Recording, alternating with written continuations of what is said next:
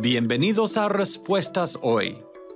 Soy Joe Owen de Respuestas en Génesis.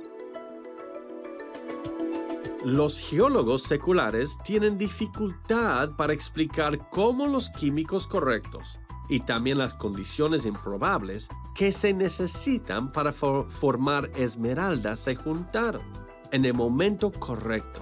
Bueno, eso es porque ignoran la historia que se encuentra en la Biblia. Los ingredientes no comunes que se necesitan para formar esmeraldas son diferentes tipos de rocas. Se encuentran el uno con el otro cuando son transportados y combinados por agua caliente. Estas condiciones se pueden dar solo cuando hay movimientos mayores en la Tierra y cuando hay aguas crecientes durante la formación de montañas.